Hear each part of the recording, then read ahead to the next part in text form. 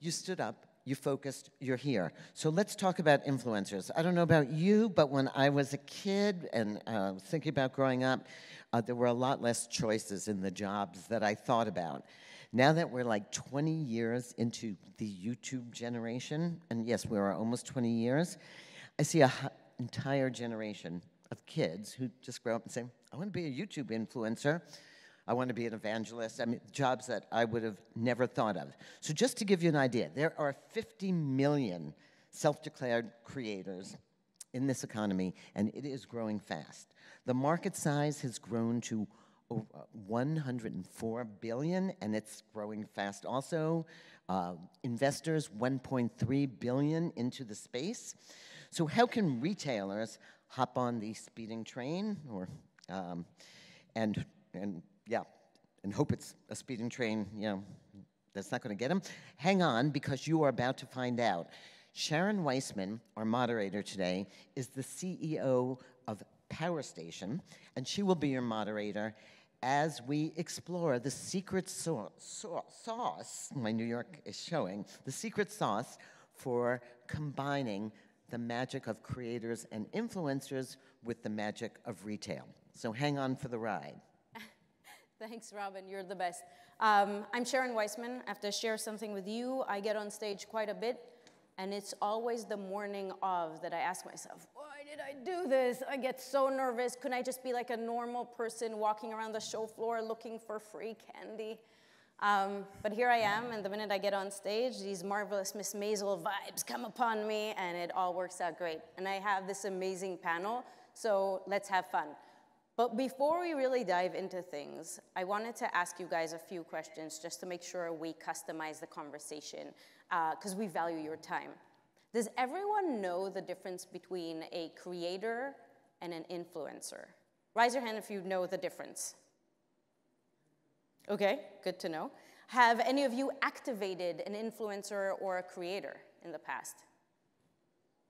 Perfect, that coincides with the 93% of marketers who activated influencers in the last year. So the main difference between a creator and an influencer is that an influencer influences. You utilize them for exposure and for reach, while a content creator creates superior content. You use them to get your brands farther via skill. Is every influencer a creator? Is every creator an influencer? Hell no. But as the end consumer, sometimes it's interchangeable, right? We actually don't know the difference. All we want is someone to strike the chord of authenticity and give us something that we should want to buy and give us an experience. So today I had to wear something that social media made me buy. Um, an awesome creator um, spoke about this, and I didn't care that it was oversized or not my color. It made me laugh. It corresponded with my values, and here I am.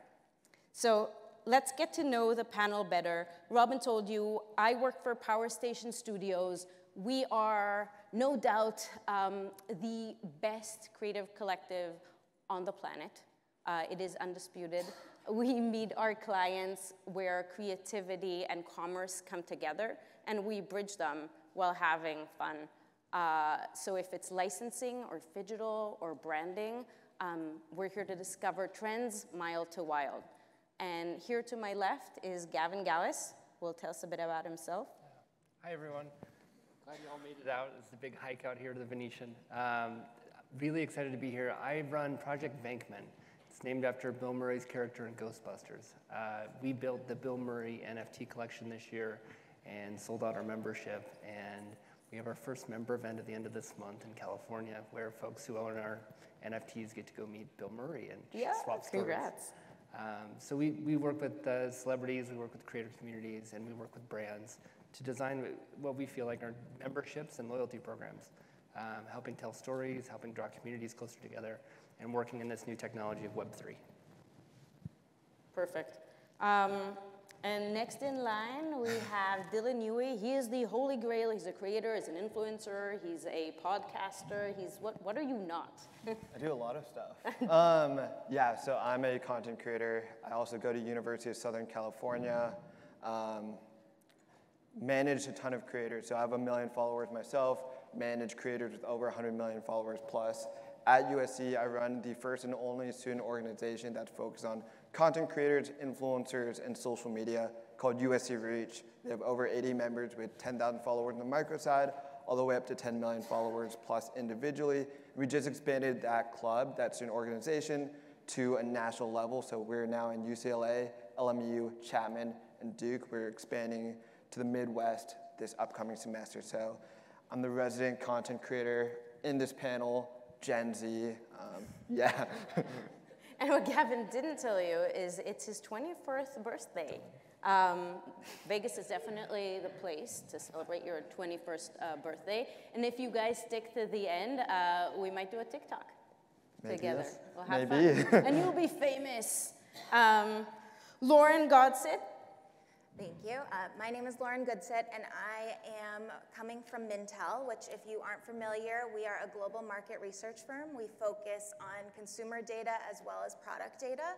So I focus in the beauty sector, um, but today I am obviously here to talk about influencers and really look from a consumer standpoint of what do they understand and really what are they looking for when it comes to those influencers so that brands can really pick the right one to partner with. Max. My name is Max Benator. I'm the co-founder and CEO of Orca. We are a live and social commerce solution. So we handle everything from finding the host talent, the influencers and creators, producing short form videos. We have studios in Los Angeles where we do shoppable live streams. We handle all commerce management. So we make sure that customers are, we're responding to customers' comments, whether it's on TikTok or YouTube or, or elsewhere, uh, make sure the product arrives on time. And we believe that all of e-commerce over the next few years is going to become interactive, social, live in some fashion. And so we're, we're excited to be doing what we're doing. So now you know why everyone is here. Together, we could find those sweet spots of how we move more product in a more efficient and fun way, how we create experiences for our audiences or and build communities. So the pandemic shifted us all indoors, right? We didn't go out, we didn't experience, we weren't hanging out in the malls, we weren't taking our kids to gaming stores and having a blast. And that social component of actual shopping as a personal experience went away. It became very transactional. So we all went to social, where we could maybe shop with someone like an influencer or a creator where we could correspond with brands, where we get recommendations um, and suggestions. And there's no doubt that social shopping and commerce is actually growing three times as faster as any other commerce, and it's going to hit a trillion dollars by 2025, which is 20% of all e-commerce. Right now, websites, as this panel can tell you, are very transactional. You go to a product page, you kind of know what you're buying, um, you go through the transaction, you didn't really share it, it was very personable and unshareable, but what these guys are doing is so different, it creates a whole new social element uh, for the shopping experience. Lauren, what are the trends Mintel is highlighting right now for your clients when it comes to social shopping and influencers? Yeah, so we have, as I mentioned, a lot of uh, consumer data. We also do a lot of forecasting and trend work, but I am going to show you just a couple of slides of data. I think the data points are always the most powerful, so if we could click to the next slide. Sure. I got the power. Thank you. Boom. So here we're just going to start off. This is data looking at influencers kind of holistically, not specific to beauty. Our next slide will be more specific to beauty. So at Mintel, we have reports globally. So here, uh, oh. Oh, sorry, you want that one? yeah, stay here. Yep. Um, so here, we'll just look at these really quick. So we, what we do for our reports, just to give you a kind of a little bit of a background, we panel about a thousand consumers in each of these countries. So you'll see the first stat that we have here on the screen is, is this the first one, Sharon? Um, Okay, all right, let's stay here for a minute. So these, these are the general stats. So in the US, we have about 70% of consumers saying that they follow specific influencers because they want to learn from them. And I think this panel will talk a lot about education and really the pairing of education and influencers together and how that's more meaningful for the consumer. Then the center stat we see here is coming from some of our China data. This is talking about virtual influencers and the benefits that consumers find that they can utilize when they are using, when brands are using a virtual influencer. And then the last stat here is coming from the UK. About 40% of consumers, when they think about what's most annoying when they're looking at influencer content, it's when that, con- that sponsored content is not believable. So all of these points will connect throughout our discussion. We just kind of wanted to verse you in some data. So these are the general. And then if we go to the next slide, these are just beauty specific. Beauty is, you know, my favorite category. Mintel covers a plethora of other categories, but here just looking kind of more at the beauty realm, we see that in China, consumers are saying that they, they, it increases the favorability of an influencer if the influencer is using different formats in the US, when we think about kind of the face of the influencer, they're not looking for those models, perfect pictures anymore. It's really looking at a reflection of themselves within the influencer community. And then in the UK, just really here to reinforce that influencers are impacting the buying process, especially for that younger generation, that they are making those decision, purchase decisions based on what they're seeing the influencers put out on those social networks. So again, just kind of ground us in some data, and now we can talk about more interesting yeah. aspects. I think Mintel's data really shows us that it's not one size fits all, right? What is social shop- shopping? In, in every territory, it means something else, and the consumer behavior really dictates how they want to shop and who they want to shop from. Dylan, since you're on the field, yes. do these coincide with what you're seeing? Are you riding these trends? Yeah, you know, I started social media in 2016, and back in 2016, it was a lot of me outreaching to brands and showing them why I was of value for them to get involved with me and proving that I had the KPIs and the numbers to work with them. I think now we're seeing more and more brands, and every single brand working with influencers. I think there's a fine line where it's like in the last few years, a lot of brands have didn't really know how to work with influencers. So brands would give us their their creative briefs, their captions that they want, the specific pictures. So it was literally every single thing that you had to do was copy and paste what they their creative team came up with or their marketing team. I'm seeing a lot more brands put ownership into the creator and giving the creators freedom to take their product, take their consumer good, and run with it based off of what me as a creator, any of the creators who, that I manage. Who knows the audience better than you, right? Creators do, 100%. And more and more brands are doing that nowadays. I think from a brand perspective, that makes sense. Uh, from the social networks perspective, they're not as excited that influencers and creators are actually bypassing their paid ads algorithms, and those are changing all the time, right? Um, so speaking a bit about social networks, are social networks uh, losing their luster? Uh, Facebook isn't as popular anymore. Uh, Gen Z is saying cool is dead. If cool is dead, is social media dead? I mean, we did shit on their planet, and now they're all very upset and they think nothing matters. And if nothing matters, does social media matter? Does it matter what I wear or who? We're all too old for peer pressure, right? So, speaking about how do we not depend as much on social media networks, Gavin, maybe we could talk a bit about the what we call the dark social, um, you know, Telegram, Discord, where creators have a direct line to the communities that they're building and then eventually selling to. Absolutely. Yeah, any new technology has its good and its bad. The, there's been a lot of headlines in the crypto space around you know, these things called rug pulls, where people create fake identities, they build a community, and then they don't deliver on, on what they promise. Um, but I think if we, step back and we look at the big picture, in terms of Web3, and Web3 means kind of this next evolution of the internet, encompasses crypto and NFTs and metaverse and a lot of uh, bucket buzzwords. Um, but th- these are direct channels. So with Telegram, I can build an audience overnight. And yes, some of those are bots. Some of those are folks that are, you know, scammers. There's a lot of moderation that needs to happen. Same with Discord. We, we built a community. We have about 10,000 folks in a, in a Discord just talking about Bill Murray and, and you know, the, the content around him and his life and this membership. And the, I'm, I'm not anonymous there. I'm, I'm there as Gavin. So I, I'm on the hook. And a lot of the better communities are focusing on that the authenticity, having leadership that's doxed, meaning they're, they're documented, they're real, um, and, and being able to, to stand behind their product. So if I don't deliver to my community, you know, if Bill Murray doesn't show up at the party, I'm on the line. Um, so that's really the, the future, and brands will look at this as well as, you know, you can reach these communities quickly, you can get out in front of it, um, you can interact in real time. It's so awesome to have, you know, live interactions with, with true fans, true owners, true members. Um, but with that comes more accountability, more responsibility, um, and it's even faster paced than something like Twitter.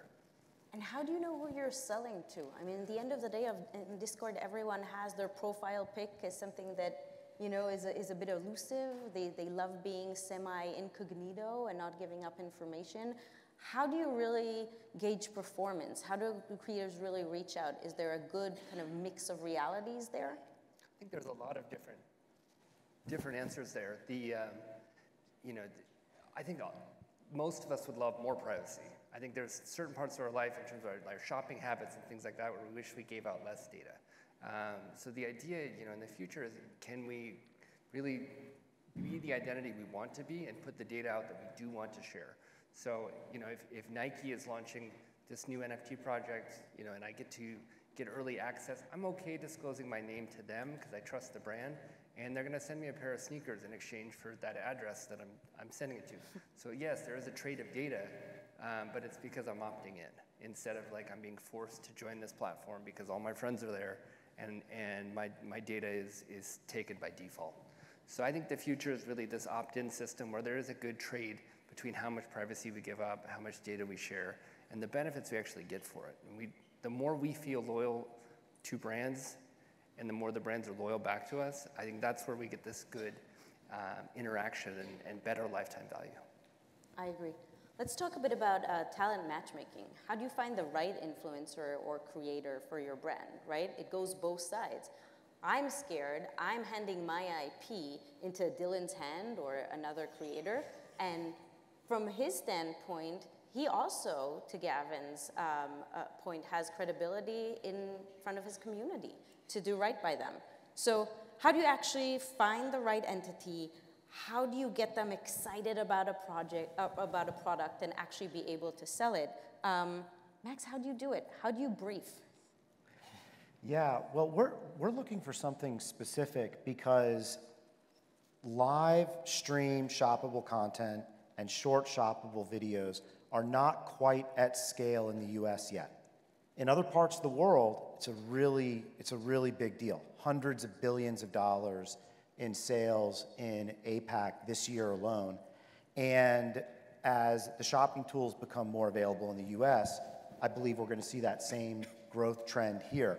And so, if you're looking for a creator or an influencer purely to align your brand with them as an awareness effort, then I think you're looking for a match for your brand and and you might go through their, their socials and make sure they're fit. And I, and I think that's a really great path to take. If you're focused on driving revenue or sales, you want to find someone that's knowledgeable, passionate, and all of this, by the way, and I think we all agree, all of this relies on authenticity, right? So that's, I should say, that's at the, at the very beginning. You want to make sure that there's an authentic voice behind the, the creator or influencer. Um, but when someone goes live and they're, they're selling and they're educating, it's got to be somebody who has charisma and who is passionate about the product. And it might not matter that their entire social life doesn't revolve around that particular product. So there's direct selling and there's endorsement or awareness. And I think those are slightly different. And it depends on your objective as a brand. And we're really hyper focused on revenue generation and creating sales channels for our brand partners. So we, we look for sellers and hosts and creators and influencers that are capable of getting the brand message out in, and converting to purchase, frankly. Yeah, no, I totally get that. Lauren, what, what kind of data or insights are your clients looking for when they evaluate influencers? I mean, when it comes to beauty, there's so you need legit experts to mm-hmm. come across as someone who I believe and I want to, you know, more than a pretty face per se. Right.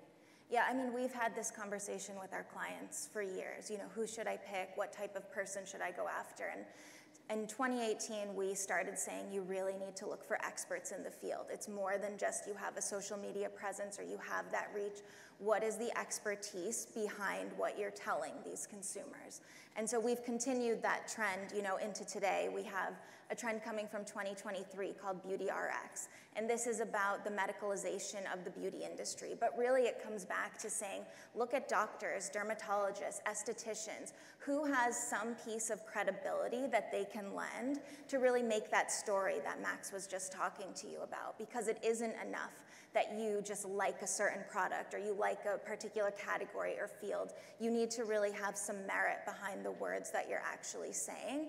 And when we look at our data, I think you saw that uh, data point that really spoke to education. They want someone who has a background to be able to uh, adequately uh, educate them and to give them that knowledge. That's really what they're looking for. Yeah, which makes them authentic. I think that's where it really lies. I won't lie, I don't care if someone is awkward AF, as long as I believe that he has the knowledge in the background and he's authentic and he's selling this product because he cares or uses it themselves and understands the overall benefit. Um, that might just be enough for some brands. Um, let's dig deeper into live shopping because, hey, when it comes to the US, we know it works. We've seen QVC, we have historical references of people sitting, listening to content that is curated, and then dialing to get it, right? Um, so Max, kind of back to you. Uh, how do you find that person that you spoke about before, that, that person with an X factor that is everything, both a expert and a salesperson and a marketer and has presence in front of a camera? That's yeah, really it, it, takes a lot of work. I would say uh, less than 5% of the people that we meet will ultimately come and work with us because we are looking for something really special. We actually have a short reel. Are we able to play that? We Is that do. available? Do we'll see if it works. I'm, I'm excited to show this because we, we talk about live shopping, we mentioned QVC, but we're bringing, and I believe companies like ours, that's the, that's the slide about what we, it, are we able to play that? I can do this. I know I can. Okay, it's all, it's all good if, uh, if we're not able to do it. But, you know, it's re- this reel is really fun. And one of the things that I've realized is in the 20 ish years that we've had e commerce, you don't really go shopping on the internet. You discover a product, you research a product, you purchase a product. But shopping is a social experience, as Sharon said early on, and live shopping allows you to have that experience like you're going to the mall uh, or shopping in real life. And so the, the reel that we had prepared showed a little bit of that, and you get a sense of the hosts that we, that we hire. And um, you guys can go visit us at orcashop.co. There's some great material up there after the panel. We don't need to, I think they're working on it there. But it's, so it's totally okay. Maybe, so, maybe by the end of the panel. Uh, no, I, listen, I, I totally agree. Research shows that people spend more time in stores when it's done socially, right? When I'm hanging out with, with friends, when I, I obviously can't dress myself. I need someone to go with me. I need recommendations. We need to make a whole day out of it. Um, so so if, if I'm actually engaged and I'm watching something that's entertaining and educating for me, that's trifecta, right? We, we, see, we, see, we see it every day. We see the sales, and it's really great to see Lauren's data because it aligns with what, um, with what we're seeing when we go live. And I shared something with you guys earlier in our, in our pre-meeting. Uh, I haven't built this slide yet, so bear with me on the numbers, but recently we compared the sales in a, a one hour period from an, a standalone owned and operated website, the sales from a short form social video, and the sales in that same time period from a one hour live stream. It was $0 on the website, $50 on the video, $400 on the live stream. And when you watch the stream, you get it because somebody comes in to the live stream, wherever they happen to come from, what, their favorite social platform, and they say, Is this product waterproof? Or if it's Dylan or someone who they follow, do you like this? And when you respond yes, that gives them that push that they need to purchase. Yeah, validation. Uh, Dylan, what what platforms work for you? I mean, we- we're seeing, you know, we, we had Amazon announce uh, Amazon Inspire, which will be a TikTok-like in-app opportunity. There'll be a, in the toolbar inside the Amazon app, you'll have a little light bulb and you could press it. And it's almost like the TikTok experience where you go through and you watch social shopping and with a click of a button, it's at your door. You know, it's interesting because I think creator partnerships and working with brands is a very two-way street for creators. Creators have to partner with the brands that they love, as well as brands have to partner with the creators that are really outspoken and engaging with the brands that they utilize. I think where live shopping is headed towards and where a perfect place for live shopping falls down to is the live streaming and the platform that these creators have large audiences on. TikTok is working through that. Um, Snapchat's just implemented a live shopping experience and is working through that. I think one fine line is as a creator, posting a product on your Instagram story is one thing, but I think pushing it a step forward and you know Max's data that he had in terms of me being an outspoken, passionate person about a product, my audience would 100% love me talking about the product that I love using more than just a random product I posted on my Instagram story because I was paid for. Right. I, that's totally understandable. And you know, eh, Amazon just announced uh, the deal with Snapchat.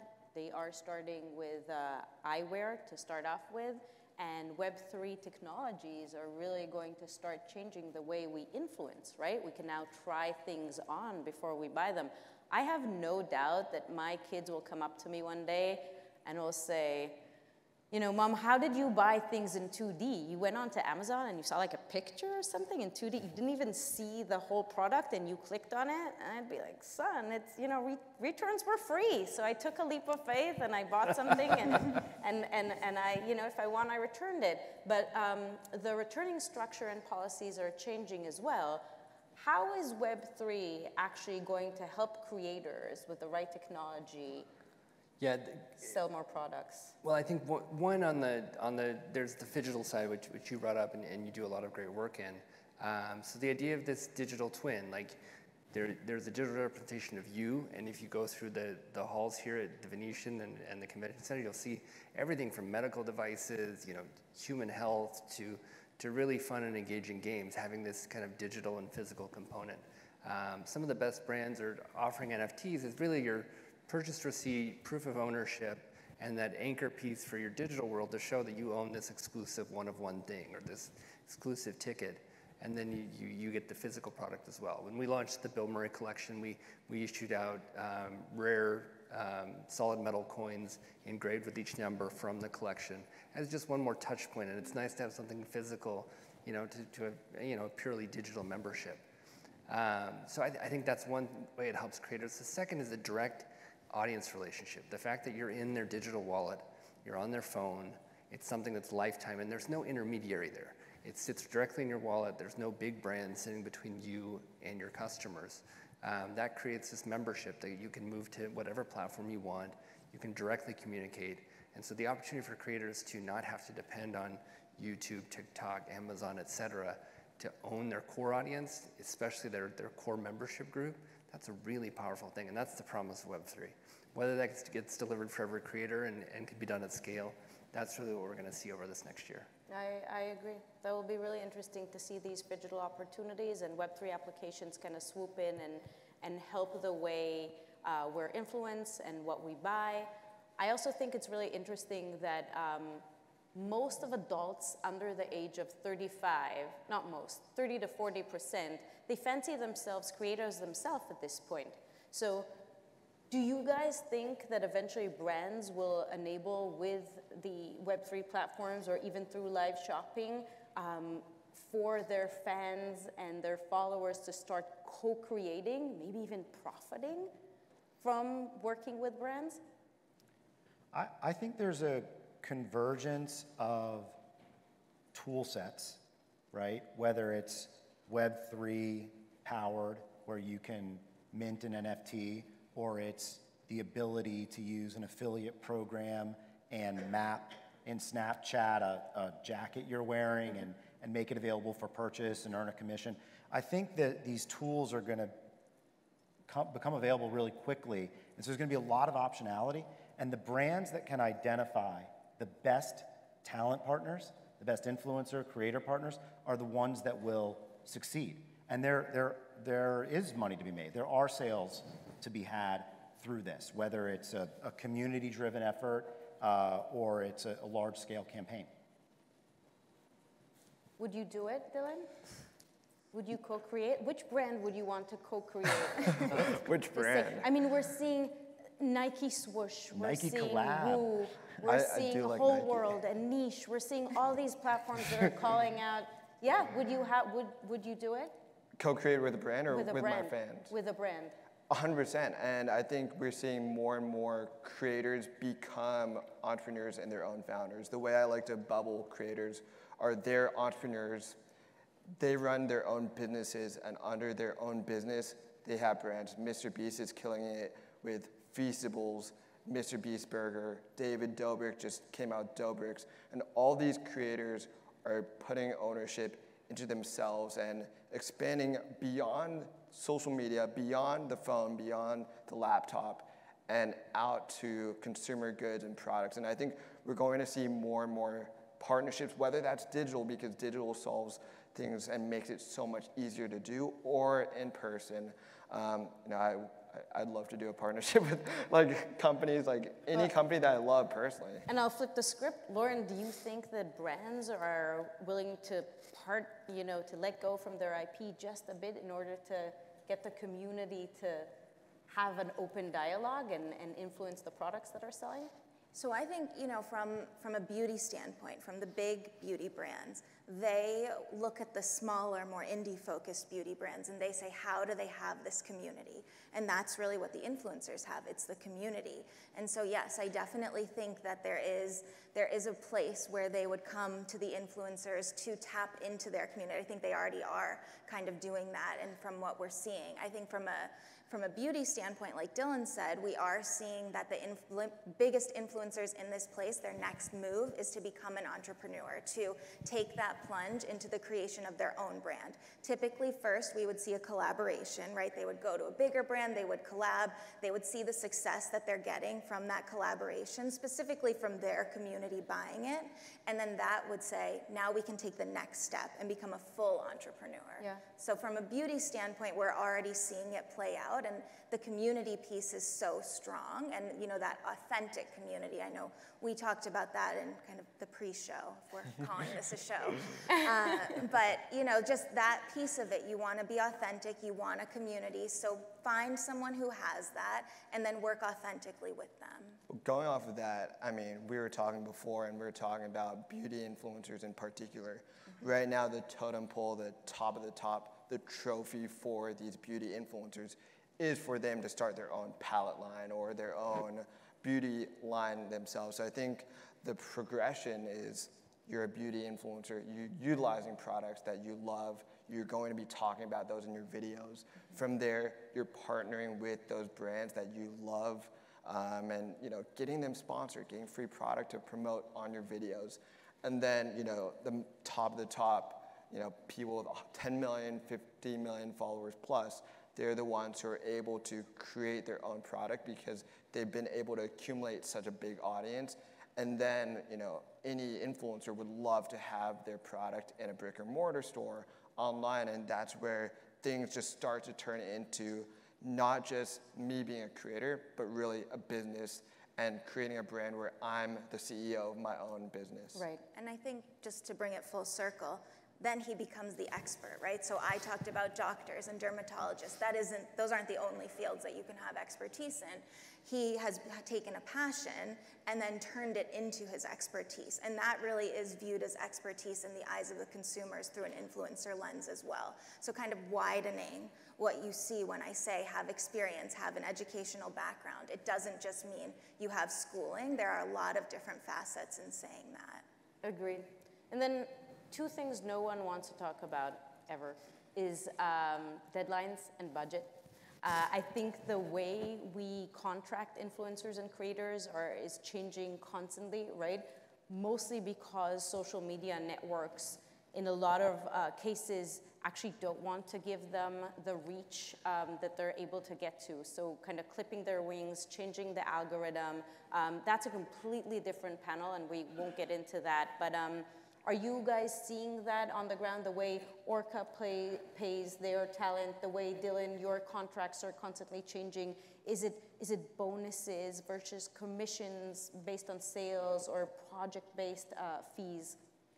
At least as a creator, a lot of brands nowadays, they're, I mean, obviously the base pay um, and base compensation, but now they're incentivizing influencers um, you know, if you hit a certain number of views, more money. And I think that strays away from where I feel like I'm just a salesperson, affiliate marketing as a TikTok creator. I don't like affiliate marketing too much because it makes me feel like I'm a salesperson. But I think these incentives and what brands are pushing for now, it's motivating me and other creators that I manage and creators in my influencer club at USC as well to have the freedom, and because I'm a creator who knows my audience well, I can really position my videos to what my audience would love and know that it would do better than where a brand in the past scripted, they made everything, and I would just put my name under it. I want to say something off the back of what Dylan just mentioned about not being a salesperson the work that we do is really specific to driving transactions, and that's why it's so hard for us to find really great talent partners to do that because we want to find folks that are excited to be that person, that are excited to get someone into a product and drive the sale. And there are other creators who, first and foremost, are serving their audience on their pages, and they will accept brand deals that align with their content within certain bounds. And both of those things, by the way, work for, for the people who are, um, who are working on them. Uh, and then what was the question? I'll, I'll, bring it down to Gavin just to tie this up. So when it comes to contracts, now we have smart oh, yeah. contracts. Now, now brands are willing to pay creators, right, and share the profits. Oh. And we're, we're going to see that a lot on the blockchain yep. As Web3 kind of democratizes that space. Yeah, it's been a holy grail, for years, but the idea of being able to put affiliate links, 1099 payments, contractor payments, all into a performance contract and automate it, takes away the invoicing, takes away the, the follow-up, and it's all um, trigger-based. So you can you could actually write a contract that says, "Hey Dylan, if you hit 100,000 views on TikTok by this date, your performance incentive is X, and it goes to your crypto wallet." So that's that's all lines of code that you can build into a smart contract. So if you think of the future around creative endeavors collaborating with other artists or other brands, and then hitting certain metrics by certain time periods. Those are programmable. So that's, that's one of the cool things of Web3 tech is this concept of Ricardian contracts where we've got a legal agreement, which has you know, rights and responsibilities, and then software code that automates that and makes the payments flow directly. Agreed. I think um, as Web3 becomes um, more demystified. I mean, we always fear things we don't completely understand, right? Um, but the minute we'll start streamlining and we'll understand that everything we do, from buying with the Starbucks app this morning, uh, all the way, you know, to buying a T-shirt on Amazon, we're giving up our information anyway. And actually, Max, you brought it up in the pre-show um, about how actually it is safer and more authentic to use those technologies um, when it comes to sales. Using blockchain? Yeah. Yeah, you know, it's, it's interesting. The, the, the culture of blockchain, as we've talked about, there's an anonymity or pseudo anonymity around it. But the funny thing about the technology is it's totally traceable. the whole technology is public blockchain, right? And so I think we're in a cultural moment where you want some folks who came in early like the idea of the an- anonymity or pseudo-anonymity, but over time, you will define your identity on the blockchain because you can go through the history um, uh, on the public ledger. Agreed. But, but to answer your question about deals, Yep. uh, the structure. Yeah. the, the structure, I think that it's always changing because the platforms are changing. You're right. The, the platforms are limiting organic growth for a lot of folks, and that's making their ability as a creator to earn Yeah. a little Pushing bit more difficult. Pushing UGC instead of the influencer speeds. Ultimately, for a, for a brand or somebody who's interested in getting their product out into the world or their message out into the world, you get what you pay for. So you do a straight affiliate commission deal, you're going to get somebody who might show up and who might do it. And if you pay some money up front, you're going to get somebody who's committed uh, to work for their fee and, and everywhere in between. I agree.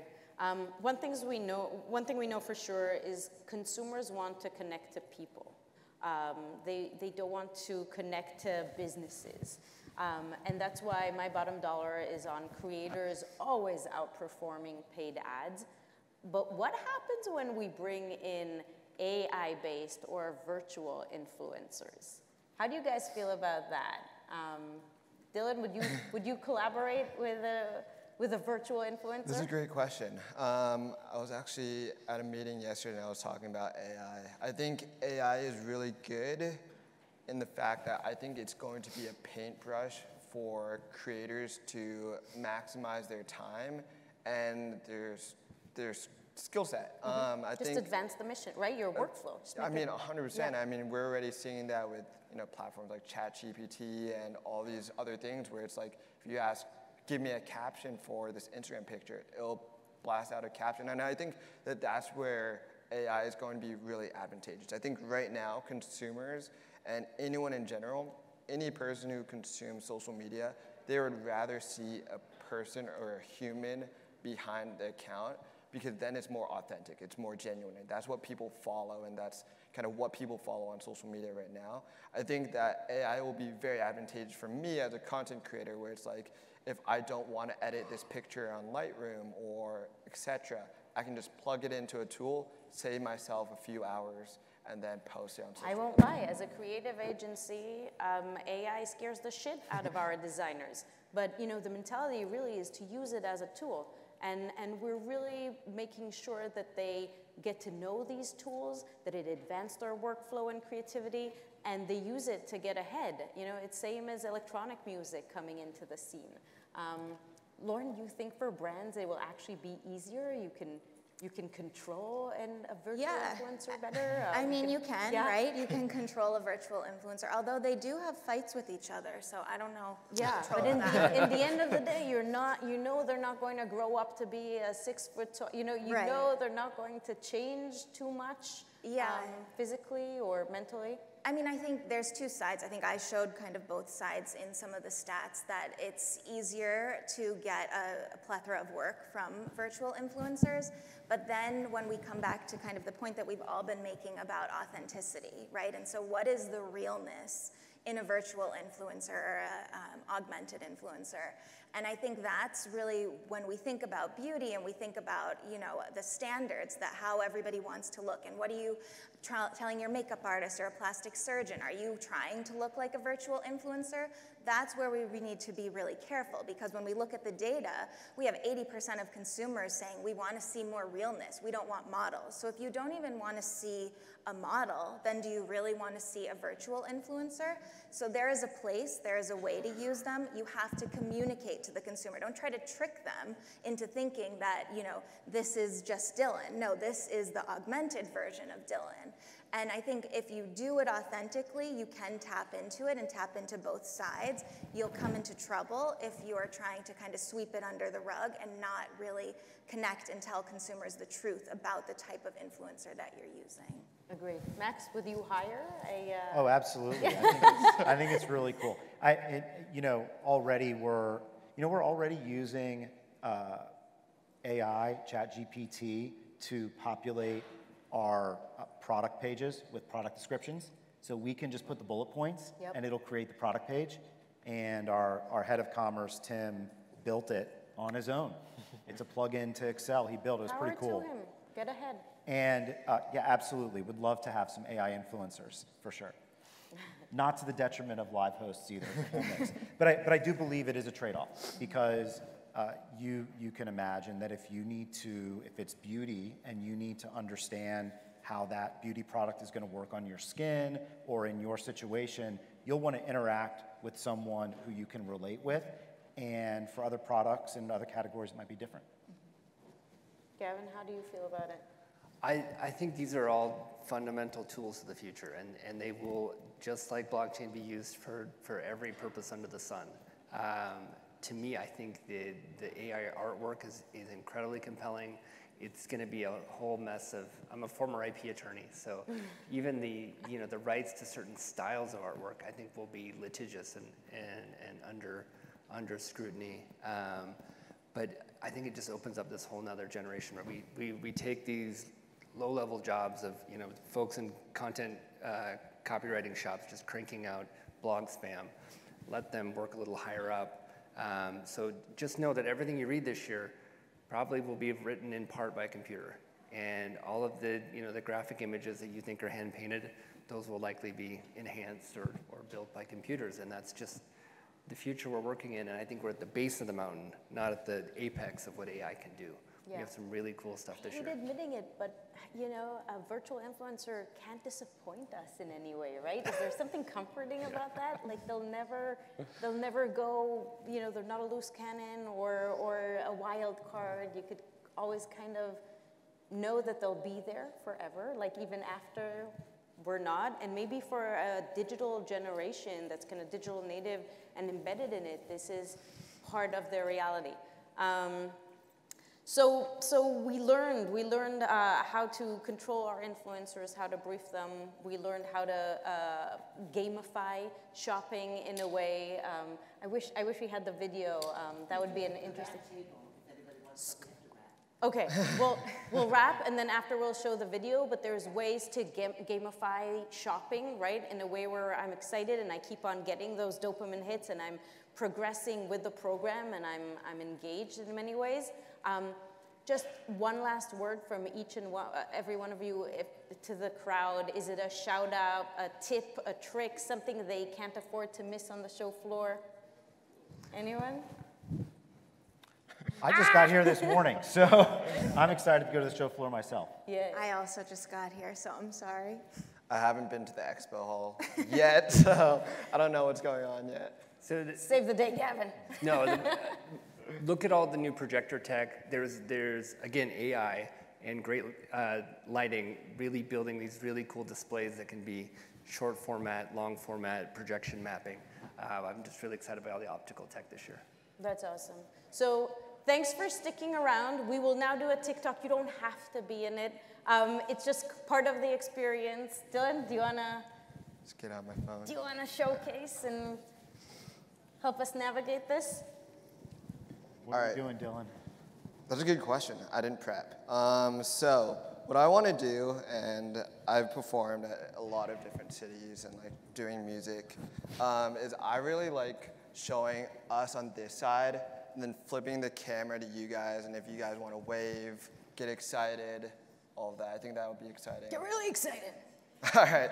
So okay. So you guys have to get close. Do you want them to stand up? Yeah, you guys stand up. Stand up, get move uh, closer to the stage. Get closer. It's going out to your, your million folks. It will. I'll post All right. on Snapchat as well. All right. Wait, All right. how about when we turn to you guys? Guys, I trust you. Be with me on this. It's Dylan's birthday soon. You guys are all going to sing. We'll sing happy birthday together, and we'll give him this amazing token for the Excalibur Casino. All right, so I'm gonna. I'm gonna flip the camera. I'm gonna put two fingers up. I go to USC fight on, so it's like a little thingamajig. So I'm gonna put two fingers up, and that's when you guys it'll be pointed at you, You guys are good sports. amazing. What's up, TikTok? We're at CES right now. We just finished a panel, um, amazing panel about creators and retail. Now I'm gonna flip it.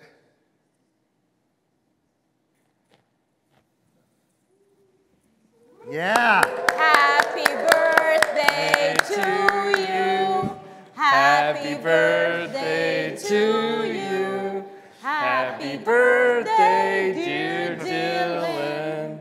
Happy birthday to you. Remember, the house always wins. but if it doesn't, take care of this panel, okay? Thank, Thank you, you so much, guys.